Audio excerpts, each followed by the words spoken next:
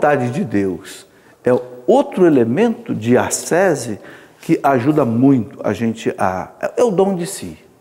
O dom de si é fazer a vontade de Deus. Santo Agostinho dizia: toda a minha conversão consistiu nisso. Não querer o que antes queria e querer o que tu queres. Então, Santo Agostinho, né, no livro das Confissões, né, o que, que foi a minha conversão? Foi dizer para Deus: não quero mais o que eu quero, agora eu quero o que o Senhor quer. Ou seja, converter é fazer a vontade de Deus. E aí o grande é, é, Santo Afonso de Ligório, né, que é o fundador da congregação dos padres redentoristas, Santo Afonso de Ligório dizia: para você chegar à santidade você precisa de duas coisas: fazer o que Deus quer e querer o que Deus faz. Simples, né?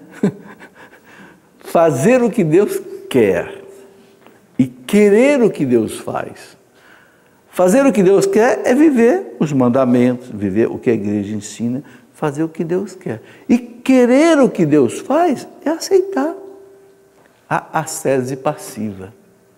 Aquilo que nos atinge de sofrimento que a gente não consegue se libertar. Deus não quer que eu seja masoquista. Ah, eu vou procurar o sofrimento, se eu tiver sofrimento eu não vou, eu não vou, não, vai ao médico, vai tratar, vai buscar remédio, vai tudo que precisa. Agora, às vezes não adianta, né?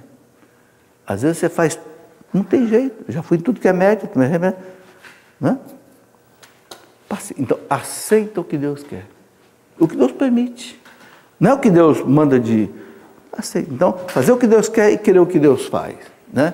É, aí Santo Agostinho ainda diz assim: eu, eu coloco muito aqui as coisas dos santos, porque os santos são os santos, né? Os santos são os campeões, né? É, ninguém é, é, é, belo como eles, né? Santo Agostinho, o primeiro vício da alma racional é a vontade de fazer o que proíbe a suprema e íntima verdade. Ou seja, é não fazer a vontade de Deus. O primeiro vício da alma racional, né? É a vontade de fazer o que proíbe a suprema e íntima verdade, ou seja, o que proíbe Deus. Né? E ainda dizia: quando fazemos a vontade de Deus, faz-se a vontade de Deus em nós. Quando a gente faz a vontade de Deus, então a vontade de Deus se realiza na vida da gente. Né? É, nem sempre é fácil fazer a vontade de Deus, mas quando a gente diz para Deus, eu quero fazer a tua vontade, e luta para fazer a vontade de Deus, pode ter certeza, Deus dá a nós a paz, a alegria, a tranquilidade. Né? É isso tudo que é espiritualidade, é isso tudo que é a ascese, ativa e passiva. Eu sei que esse estudo, isso, isso é um capítulo da teologia é a teologia eh, da santificação.